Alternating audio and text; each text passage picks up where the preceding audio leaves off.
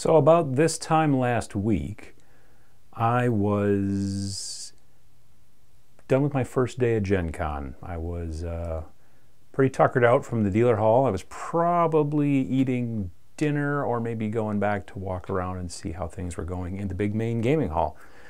So, Gen Con, it was, uh, it was big this year. Official numbers that came out just a little bit after the convention got done said that it was something like 62,000 people that's that's a lot of people. Just in case you're wondering, 62,000 people in this one, admittedly very large, you know, building, but still. Um, yeah, that's a lot. There were. It, it didn't seem so crazy busy right away Saturday morning in the dealer room like it did two years ago when I was there.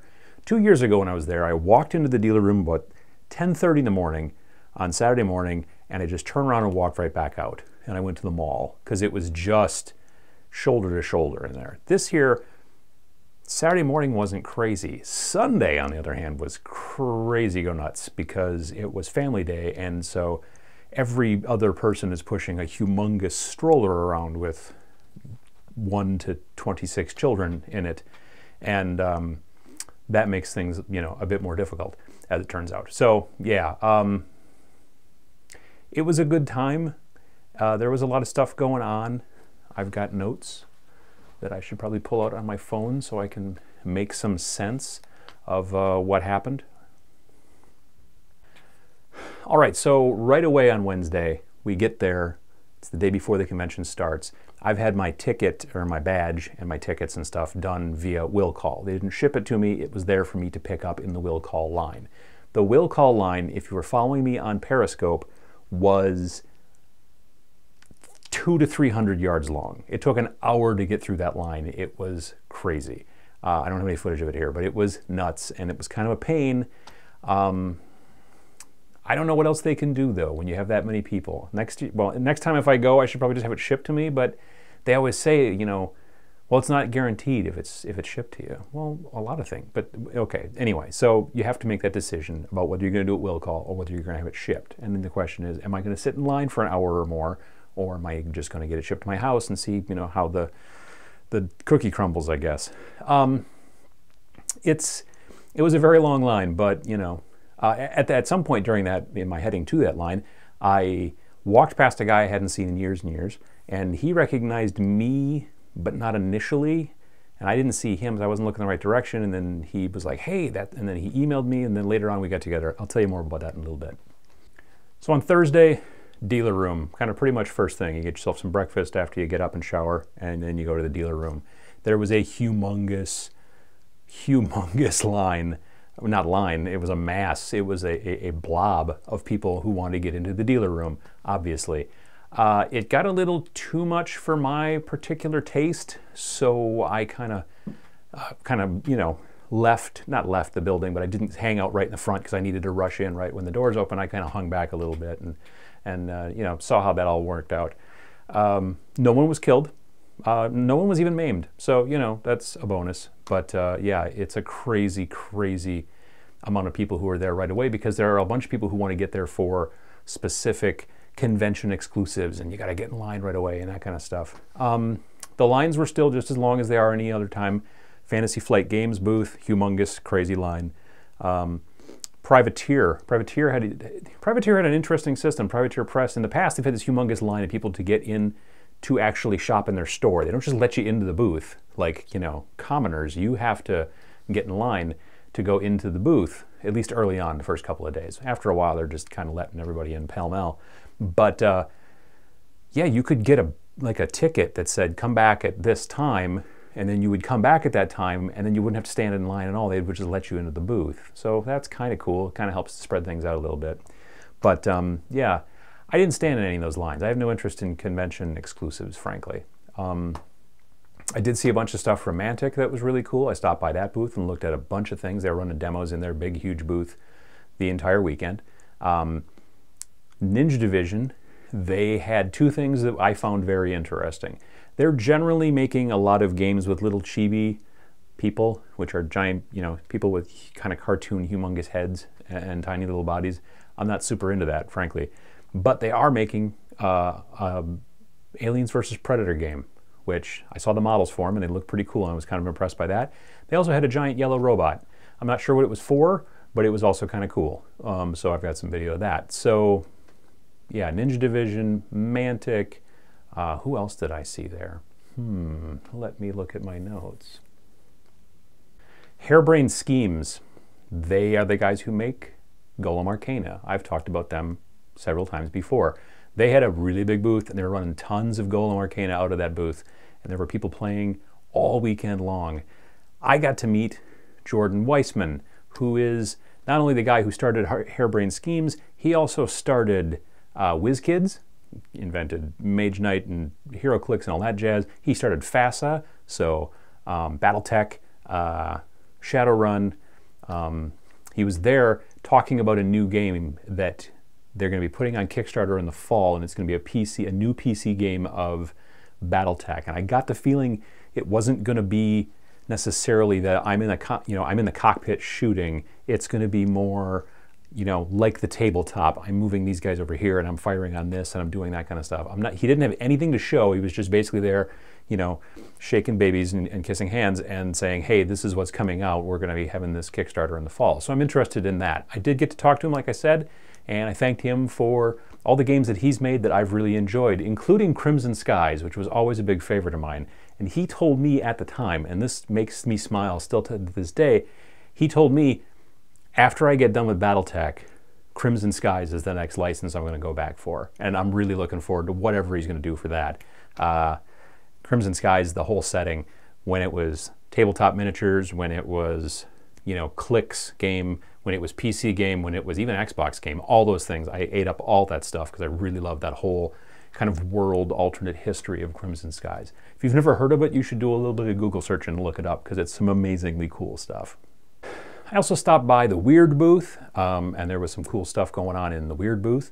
Uh, a lot of Malifaux, a lot of cool demos, a lot of big, there was a really couple of big demo kind of areas that they had built up with amazing stuff. That's the thing that's kind of cool about Malifaux is that you could pretty much put whatever kind of terrain you want in there because it's this sort of weird cross-dimensional whatever going on. So you could be like, oh, I'm going to put some Egyptian tomb looking stuff over here next to an old timey saloon. And it's totally fine because it's Malifaux. That's what's going on in that city.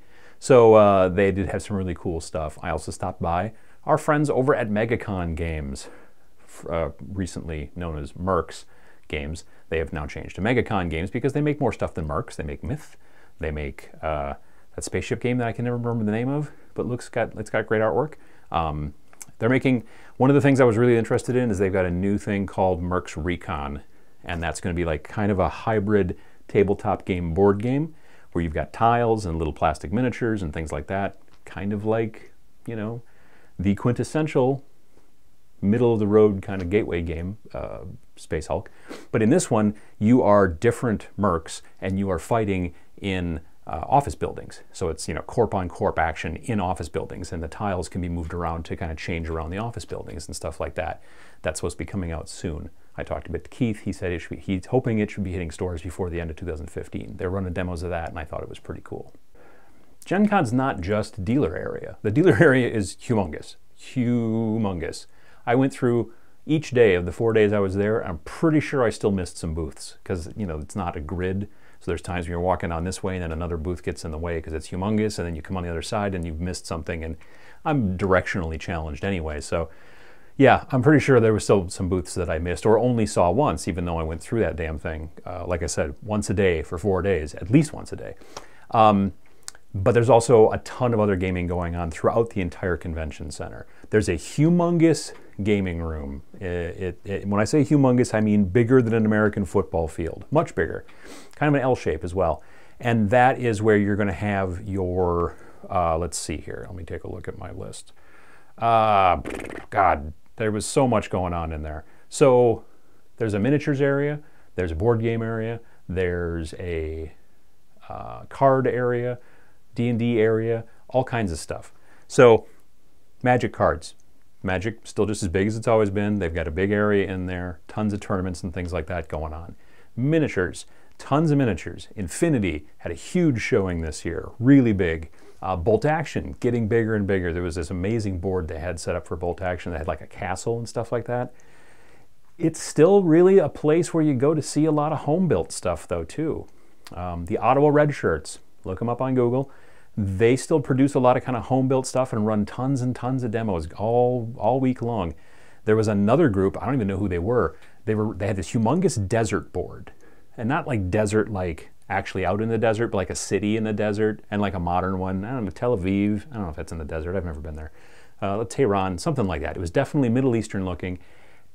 And there was a zombie apocalypse going on, which reminds me a little bit of that movie um, World War Z. So it could have been something like that.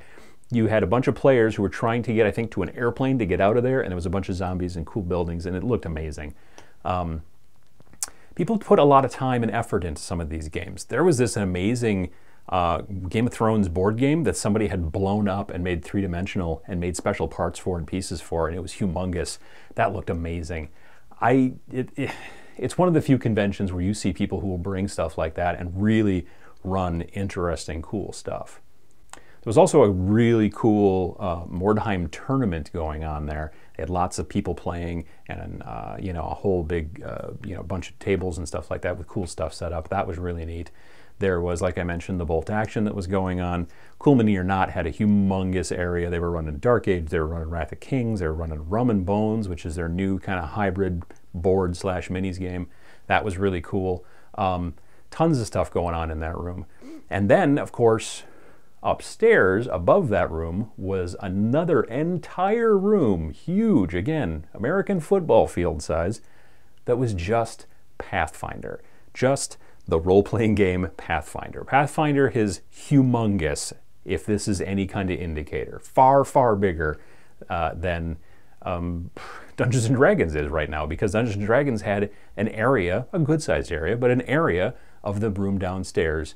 And upstairs was a humongous room, probably more than a thousand people in it. They were all playing Pathfinder. So, uh, you know, if you're into RPGs, again, Gen Con has got a little bit of everything. One of the reasons that I prefer Adepticon is because I'm a miniature player, and that's what this is about. But if you're into lots of different stuff, Gen Con's obviously the place to go.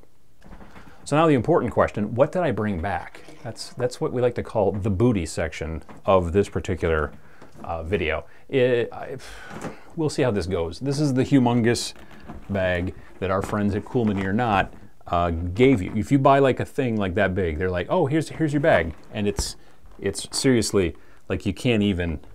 It barely fit in my car. Um, I'm going to put it on the floor. This is not working out for me here. All right, so things that I purchased. Let's talk about things that are not exactly game related. Okay, uh, well, this. You say, well, you bought a purse. Why would you do that? That's a stupid thing to do. Uh, it's not a purse. It is actually a Fez carrier from the people at Fezorama. And I bought this because I also bought a second Fez.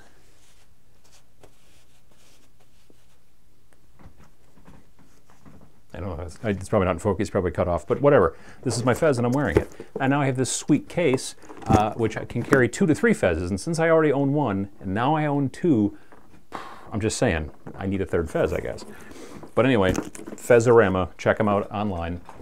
I think they're awesome people. Let's see, what else? Um, so I gave myself kind of an ultimatum and I said, Self, I'm not going to buy into any new miniatures games this year at Gen Con. I technically stuck to that. Technically. What I did was I bought um, a new army for Dark Age. But I technically sort of already have some Dark Age stuff, so it's not like I bought a new game. It's just I bought a game that I bought once, maybe three, four years ago, and then never really built much of it. Uh, but so this is, yeah. So this is the core, and by the core, these are the robot guys. Um, they are great looking sculpts. These guys were not available when I originally got into uh, Dark Age and bought some stuff. I think I bought some Skarrd and some Forsaken, or else Outcasts. I can't remember which. But these guys are robots, and uh, except they've gone crazy because their programming is corrupt, and so they're not helping people anymore. They're out for blood, I assume. Actually, organic materials, because that's how they run. You should never build a robot that runs on meat. Just in case anyone's wondering, never build a robot that runs on meat. It's a pro tip. Um, this guy's a Pathfinder. He's really cool looking. This model come. This model has three different parts in it. It's metal, resin, and plastic, which I've never seen in a kit before. So that's kind of cool. Uh, I've got a bunch of blisters as well for them. This is a DRGY. I don't know what that is. Um, this was a, a, con exclusive because I bought enough stuff. They threw in like a, a cool something or other. Um, let's see here. Got some more. I bought a lot of Dark Age. Let me see, what else did I get? Um, I got some paints. That's not what's in here though. Chessex makes these little tiny tokens. There's 200 tokens in here for four bucks. I got white, I got green, I got blue and red, I believe, and black. These are going to be very useful for playing a lot of games where you'll have to like remember, okay, that guy's on Overwatch and this guy's on doing this or whatever the deal is, and I'll be able to use those. So I'm looking forward to that. If I could just sprinkle this near the microphone, I bet that would be super helpful for everybody. Uh, let's see here. I bought a couple more single figures for our friends over at Malifaux. I've got Hans and I've got Johann.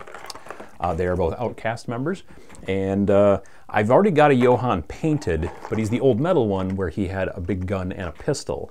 And then when second edition came out, he no longer had the pistol anymore. So I've been using that guy as a proxy, but now I'm gonna be able to use this guy. This guy's just got a sniper rifle and he's got cool glasses and he's awesome.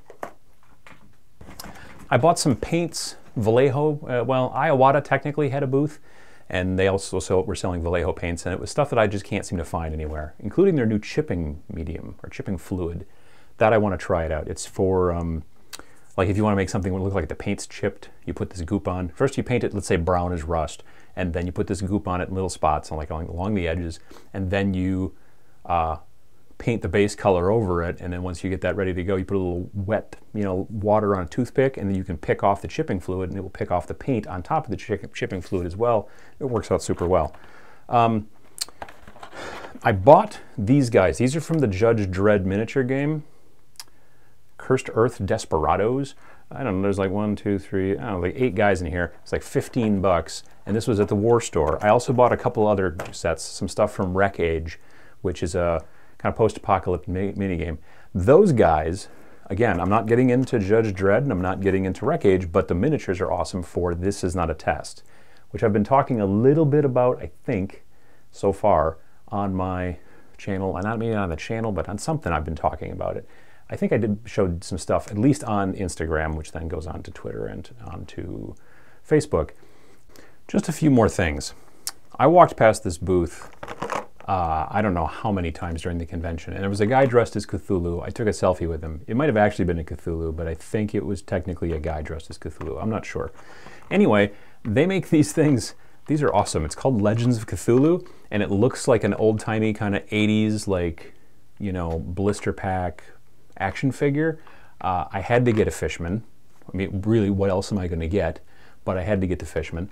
Um, they have a cultist, a spawn of Cthulhu, a professor, and a deep one, aka Fishman. So I definitely had to get one of these. He's got a little spear, and he's awesome looking.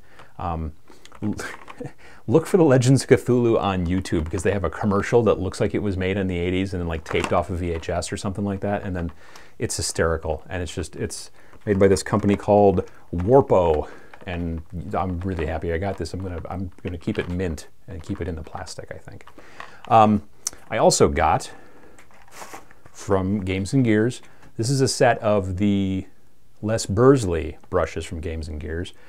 Um, this set is what they call a technical set. It's got two brushes for um, dry brushing, like a, a, short one and a longer one. There's also um, uh, let's see, detail dry brush. Oh, and then there's like a chisel brush, which is really great for edge lining. And then this, there's no more brushes in here. It's only the three brushes. They make another set, which is the exact same thing, plus one of those katana brushes that's got the little um, silicone tip. Uh, but I already have one of those, so I didn't need that. So it saved me like 15 bucks not buying that same brush again in this kit. So that was very nice of the Gears, Gears and, and Games guys. Games and Gears? Games and Gears. I always get that confused. It's very nice of them to do that so that, you know, if you've already got this brush, there's no reason to buy it again, so they give you those options, which is great. One of the last things Um, I did not buy any t-shirts this year, but I did, besides this piece of garment, I did buy a patch. There was a company there that was selling um, gamer badges and they had a sash so you could buy like a merit badge kind of like you were in the cub scouts or whatever but this one's i guess for miniatures because it's got a little army man on it and it was three bucks i'm going to totally put it on my backpack or whatever and uh, and do that stuff. So that's pretty much my booty. Um, again uh, i had a good time. I got to meet with a friend of mine i haven't seen in probably 15 years. And uh, he, like i said before we were walking on the hall opposite directions and he saw me and he's like why do i know that guy's face? And then he was like hey but by that point, point i was gone. He emailed me and since i've had the same email address since 1995 uh, it worked. And um, yeah and so we got together saturday night and you know got back in touch and talked and then hooked up with some other guys and then went out for cocktails and then went back to the convention at like two in the morning and played are you a werewolf that I don't even know how that happened exactly. It was crazy. I went to bed at quarter after four in the morning on Saturday. And then I got up at eight o'clock on Sunday morning. And then later in the day, I had to drive six and a half hours back to Wisconsin. So that was sort of tough, as it turns out. I maybe didn't make the greatest of, you know, plans there, but I really had a fun time talking to people. That's one of the best things about Gen Con is that there's the people, people you see only at Gen Con sometimes. So you meet up with them again and you're like, hey, that's great. And we get together and talk and people that you haven't seen in years. Um, I haven't decided if I'm going back again next year. Uh, Adepticon's always uh, absolutely. I'm going back to Adepticon and I love Adepticon. Gen Con, housing's becoming super difficult. It's expensive. It's getting more and more crowded in that press release that they put out, they mentioned that uh, the attendance has doubled since 2010.